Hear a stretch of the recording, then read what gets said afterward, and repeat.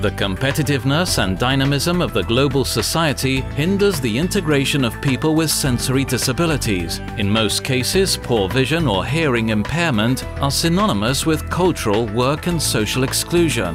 In a welfare society, it is necessary to incorporate technology to promote the inclusion of these people in daily life and activities.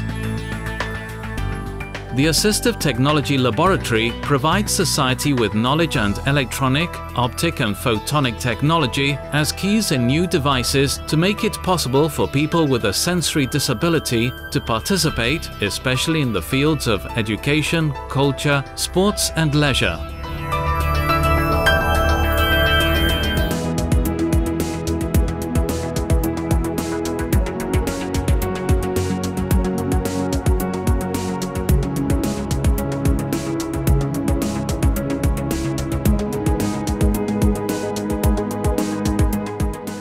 We have uh, with, uh, with projects for different kind of disability. Mm, uh, for instance, for visual impaired to hard of hearing people and uh, other kind of uh, assistive technologies.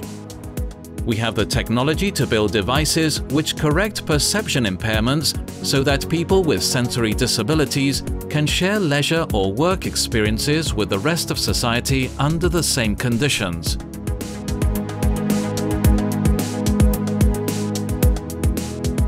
Our lab has contributed to uh, to improve uh, this kind of uh, products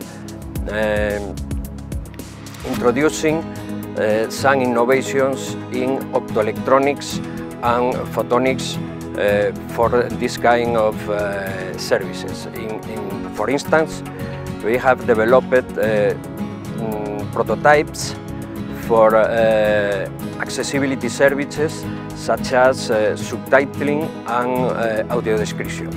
Additionally, the APEINTA system is now being used in Carlos III University and previously has been tested in the Tres Olivos school. Uh, this system uh, allows uh, that uh, hard of hearing uh, students and the rest of uh, students can share normal classes.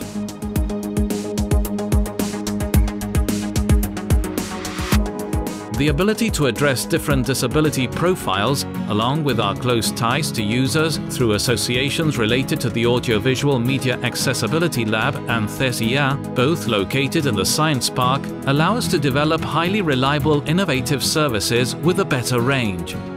In the last two decades, the use of electronics and photonics in uh, products related to uh, assistive technologies have increased uh, a lot.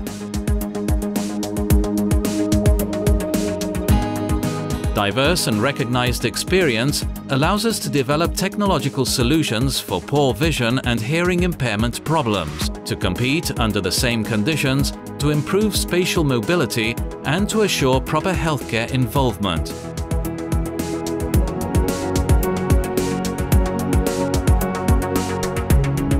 We talk about design, physical implementation of the system, training and end-user testing.